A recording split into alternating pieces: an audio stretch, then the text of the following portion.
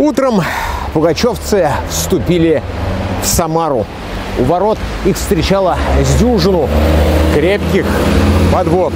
И когда первые всадники поравнялись с бастионами крепости, с телеги бойко соскочил купец с желтой клинообразной бородкой и, кланяясь в пояс, поднес атаману ржаной каравай. Смотрите программу «Город. История. События» на телеканале «Самара ГИС».